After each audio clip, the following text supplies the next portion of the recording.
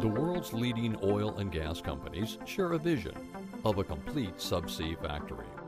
Putting an oil and gas production facility on the seafloor has been one of the holy grails of oil and gas exploration. Located at the bottom of the sea, it would be fully automated. As a pioneering technology leader, ABB will turn this vision into reality. ABB's new innovative INSUBSEA power solution is able to transmit power up to 100 megawatt over a distance up to 600 kilometers to power and control subsea pumps and gas compressors at depths of 3,000 meters being maintenance free as long as 30 years.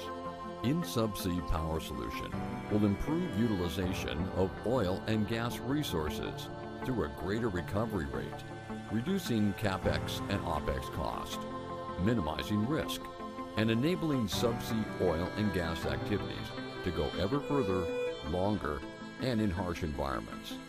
ABB's modular subsea power substation will be located on the seabed.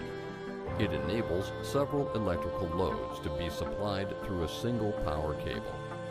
With this solution, we can meet customers' different requirements and needs for gas compression, oil boosting, and providing a retrofit solution for brown fields. The Subsea Power Substation contains ABB's innovative subsea transformer, subsea medium voltage, low voltage power distribution, and subsea variable speed drives, and lastly, control systems. ABB's liquid-filled, pressure-compensated subsea transformers reduce high voltage to levels that can be used by several electrical loads, such as pumps, motors, and compressors. It can transform the voltage level up to 145 kilovolt alternating current.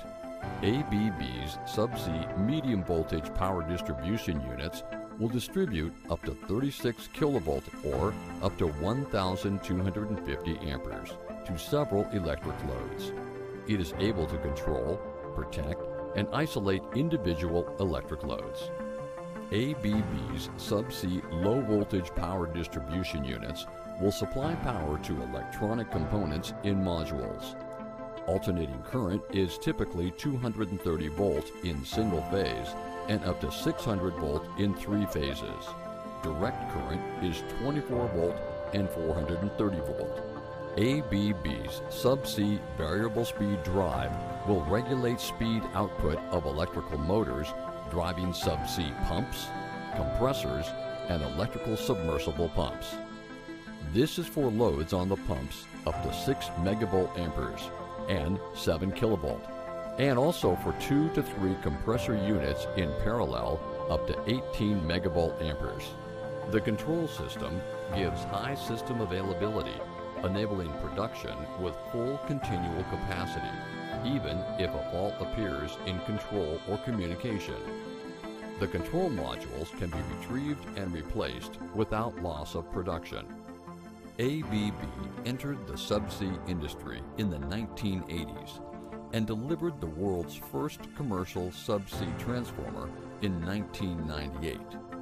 We will continue to support our customers' long-term sustainable development by providing best-in-class subsea power solutions, as these help the oil and gas industry do the impossible and go where others have not been before.